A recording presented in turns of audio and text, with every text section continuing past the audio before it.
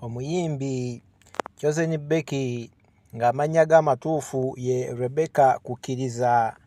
Ono nno nga bukyanga atandika kuyimba obuyimba obwamuleeta kwaliko Bankuza era nga bukyanga akuba Bankuza paka olunaku olwaleero ono abadde akyatuwa ennyimba nnyingi nnyo ezitukolera.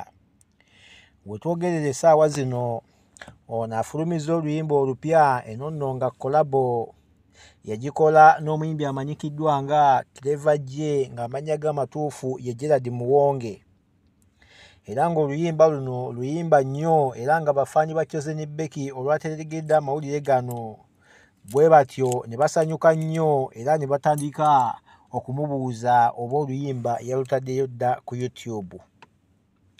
Oluyimba luno gye luli ku YouTube era nga ggwe wenna alwagala osobola oggenda ku YouTube n'olulaba.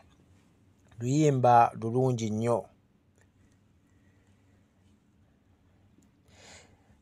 Clever J gye buvuddeko awo abadde yaakadda ku maapu era ng'ono ekyamuzza ku maapu kkola luyimba na Alien Skin ate era wamu n'okulabika nti akola ekivvulu.